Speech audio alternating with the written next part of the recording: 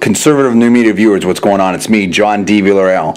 Now, this is a very, very interesting science report that I want to talk to you about. First of all, I have to say this is all my personal opinion only. I'm not alleging facts, not casting aspersions, all for entertainment, parody purpose only. Please check the disclaimers. Check this out. This is incredible if it comes about. We could be seeing, perhaps, a super flu vaccine. Now, what do I mean by that? Now, and also, let me just first say this this could possibly get into human trials in 2013, and we might see something as soon as five years from now that we could be using. Now, what do I mean by super flu vaccine? Well, here's the deal as I understand it in my personal opinion. Flu viruses mutate quite a bit. That's why every year, as I understand it, there needs to be sort of new vaccines or so called seasonal vaccines that target what researchers believe will be this year's most common flu viruses to hit. Therefore, the vaccines change pretty much every year.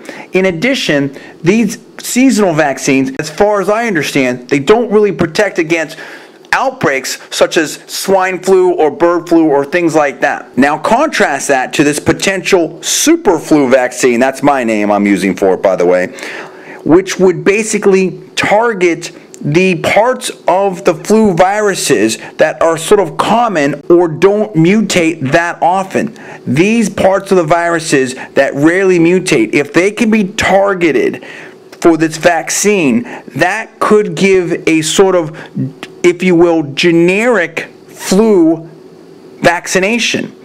If this works correctly, this could protect against most potential flus, perhaps even possibly all potential flu viruses, including swine flu, bird flu. Moreover, it's theorized to give a much longer vaccination protection such that not unlike maybe measles or the mumps that you only have to be vaccinated once early on in your life and then receive some boosters later down the road in your life. If this works, this could be a major, in my personal opinion, major game changer for medicine, for the flu, for health around the world. This could be such an important find. We know how many people the flu kills every year around the world, let alone the potential for a major pandemic breaking out that could kill millions, possibly worldwide, as some of these have before.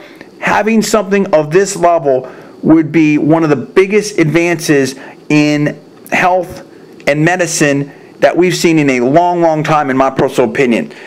So I'm very excited about this. We want to continue to watch this. You guys let me know what you think about this. Please give me the comments below. Subscribe above. I'm John D. Villarreal, reporting for Conservative New Media.